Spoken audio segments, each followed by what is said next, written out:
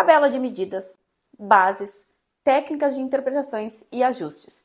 Isso aí vai tornar vocês profissionais muito mais completos, profissionais que vão estar seguros para estar no mercado. Porque passa por esse medo de sair talvez do manual para o digital, de sair do emprego que tu não quer e ir para o digital, de, de, mudar de costureira para fazer modelagem também. Depois que passar por esses medos aí, a gente tem que entender que tu pode ainda ir para esse ramo tendo insegurança. Insegurança na tabela de medidas, porque ninguém diz que tabela de medidas que existe, qual é a melhor. Insegurança nas bases, insegurança em fazer técnica de interpretação, insegurança na grade, insegurança nos ajustes. E aí tudo que tu vai entregar, tu vai entregar de uma forma pesada, de uma forma onde a gente segura o ar e pensa, meu Deus, Senhor, ajuda que eu tenha feito certo. A gente tem, a gente tem que analisar o que a gente pode fazer naquele momento que não pode e entender que sim, gente,